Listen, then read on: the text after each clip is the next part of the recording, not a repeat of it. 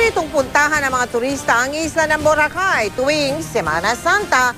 Pero muling nagpapaalala ang lokal na pamahalaan doon. Bawal mag-party sa isla sa Biyernes Santo. Ang mga lalabag, posible raw makulong.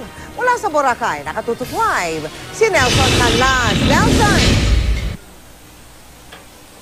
Mel, maghapong umuulan dito sa Boracay kaya medyo limitado ang activities ng mga turista at nag-issue na rin ang ah, ng kautusan ng Office of the Mayor na nagbabawal na mag-party at magpatugtog ng malakas sa Biyernes Santo. Para raw maging sagrado ang paggunita ng mahal na araw, maigpit na ipagbabawal ng lokal na pamahalaan ng Boracay ang magpatugtog ng malakas at magparty sa Biyernes Santo. Mula alas 6 ng umaga sa Biyernes Santo hanggang alas 6 ng umaga ng Sabado de Gloria. Ipatutupad daw ito sa lahat ng pampublikong lugar at magiging istrikto raw ang pagpapatupad dito. The moment you generate noise and there will be complainants that you have disrespected this and you're being complained for, yun po, masasubject kayo po to investigation.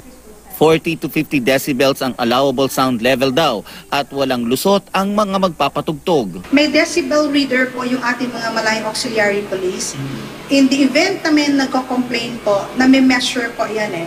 Wala raw problema rito ang bar owners at mga turista. Well, I think this island is very loud anyway, and if once in a year they stop the music for this event, uh, uh, uh, Good Friday is a, a sad day in the Christian Christianity, so I think that's okay.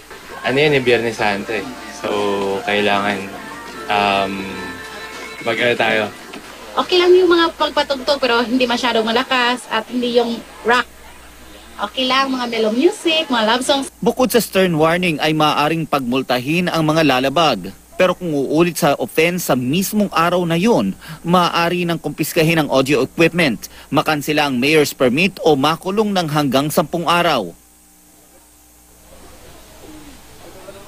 Muli po namin pinapaalalahan ng mga bakas- bakasyonista na magdala ng sapat na pera dahil ayon na na rin sa ilang locals dito ay ah, nagkakaubusan daw ng pera ang mga ATM machines lalo na kapag papalapit na ang Biyernes Santo.